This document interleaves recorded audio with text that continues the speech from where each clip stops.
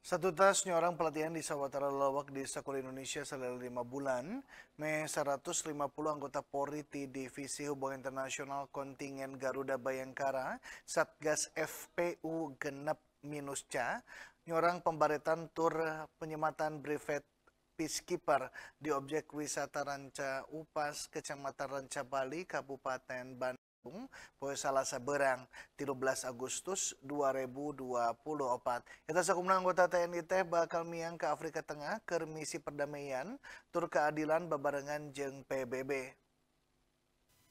Satu tas nyorang rangkaian kegiatan tur pelatihan salila 5 bulan tisaprak bulan Maret 2024 meh 150 personel Polri di Divisi Hubungan Internasional Satuan Tugas Firm Police Unite atau FPU-6 Multidimensional Integrated Stabilization Mission in the Central African Republic atau MINUSCA ilubiung dina acara pembaretan tur penyematan Brevet Peacekeeper di objek wisata Ranca Upas, Kecamatan Ranca, Bali, Kabupaten Bandung, Poe Salasa Berang 13 Agustus 2024. Rancangna personel Polri T bakal miang ke wilayah Afrika Tengah Ker ilubiung dina misi damai tur keadilan babarengan jeng Perserikatan Bangsa-Bangsa atau PBB disaprak tanggal 11 Oktober 2024 tepi kasa tahun nu bakal datang. Tina 150 personel pengamanan PBB anu aub di neta pelatihan teh, engkena ukur 140-an anu bakal miang, Ari anu sapuluhan sejena jadi cadangan, upama ayah hal anu karandapan ku personel Alpha, Bravo, Turta, Charlie.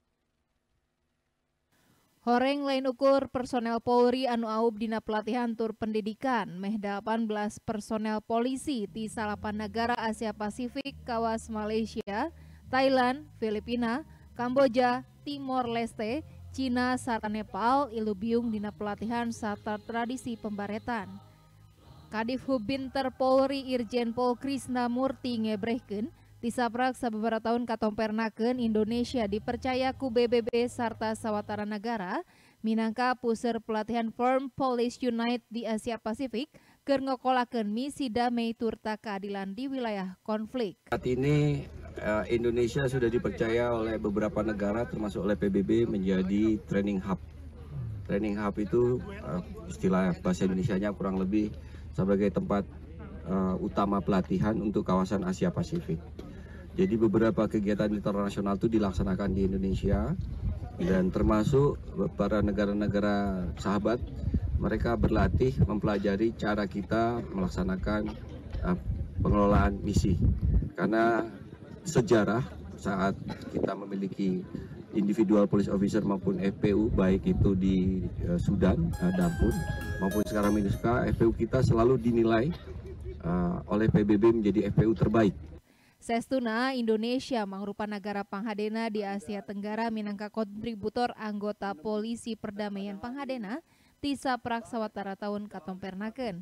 Kukituna eta 140 personel Polri teh dipiharap bisa mancen kalawan gemet sangkan ngaran hade bangsa Indonesia salawasna kariksa.